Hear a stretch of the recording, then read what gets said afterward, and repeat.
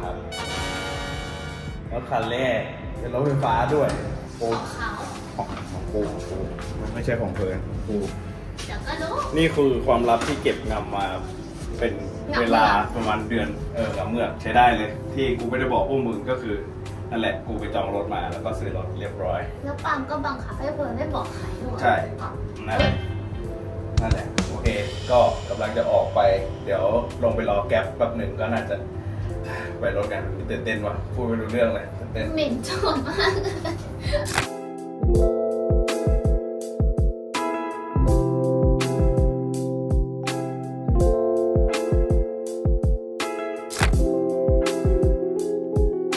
แล้วเราก็รับรถมาแล้วอียอดเยี่ยมยอดใส่เยี่เอยมฟเฟกต์แบบ ผุใช่ไหมไม่ใส่ไม่ใส่ไม่ใส่แล้วนี่เราก็ได้ขนมจากเอารถก่อนเอาเรื่องรถก่อนได้ไหมเอาทีละเรื่องทีละเรื่อง รับรถเสร็จแล้วอะ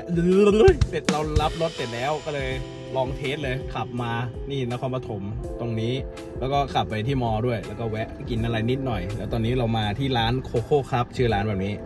เพลินแวะซื้อขนมหวาน มันเป็นเพิร์นรับพรีออเดอร์ขนมรสไม่ใช่ขนมเล็กขนมตัวเด็ดของเขาคือเค้กลาวาไข่เค็ม อันนี้กินตั้งแต่สมัยเรียนแล้วเฮ้ยจริงไม่เห็นร้านเลยร้านนี้ไม่มีตั้งแต่สมัยเรียนแล้วมีเอาเหรอแบมบูฝากซื้ออมแล้วเพิร์นก็กินเค้กมะตูมแล้วของปาล์มเป็นเอ่อ soft cookie หรือเปล่า ไม่รู้เหมือนกันคุกกี้สักอย่างสีน้ำตาลนั่นแหละรสช็อกโกแลตนั่นแหละยอดเยี่ยม แล้วก็ก็รถก็สภาพโอเคทุกอย่างโอเคนะ อืมใช้ได้ก็กำลังลอง test ๆอยู่เดี๋ยวคิดว่าขับกลับไปน่าจะได้ลองชาร์จครั้งแรกเย่รถที่กูซื้อมาก็คือ BYD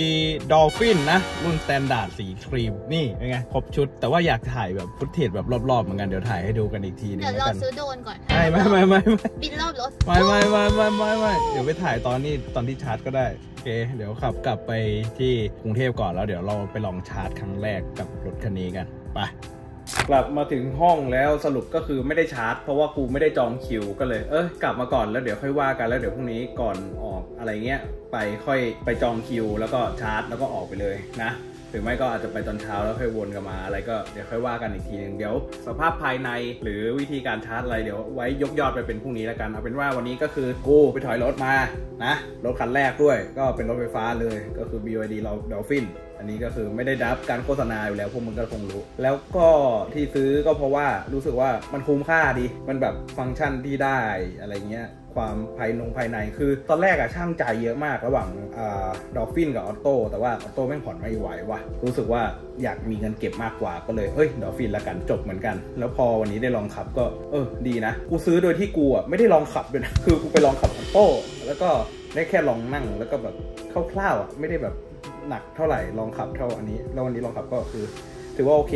แล้วก็ตัดสินใจถูกที่ไม่ซื้อตัว X10 เพราะว่ามันจะมีอีกรุ่นหนึ่งที่เป็นรุ่น X10 ใช่ป่ะรุ่นนั้นน่ะเขาบอกว่าแรงกว่า แล้วกูก็รู้สึกว่าไอ้เหี้ยตัวนี้แรงแล้วนะกูกูพอแล้วอะคือคนขับรถแบบกูอะกูกูพอแล้วกูชิลมากเลย แล้วก็อีกอย่างหนึ่งไปกับชลบุรีเนี่ยหมดไปไม่ถึง 20%อะ15%เองก็คือยอดเยี่ยมเลยนะ แล้วก็หิวข้าวตอนนี้เพื่อนหิวยัง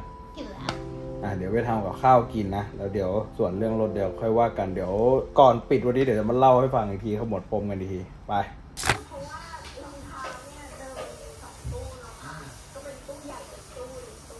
อะกูทำเนื้อกินเสร็จไปเรียบร้อยวันนี้ เนื้อส่วนที่เหลือนะที่ทำไว้รอกินกับเพลินก็ยอดเยี่ยมนะ เยี่ยมเยี่ยมไหมยอดเยี่ยม อะยอดเราจะมาอิ่มเอมกันนะ แล้วก็เออเมื่อกี้ที่กูบอกว่าชลบุรีก็คือผิดนะ จริงๆ คือไปนครปฐมแต่พรุ่งนี้เราจะไปชลบุรีก็เดี๋ยวรอดู แต่พรุ่งนี้จะลองชาร์จสักทีหนึ่งก่อนสักชั่วโมงหนึ่งว่ามันระบบการชาร์จมันเป็นอะไรยังไง แล้วก็เดี๋ยวขับออกกันไปชลบุรีคิดว่านะประมาณนั้นก็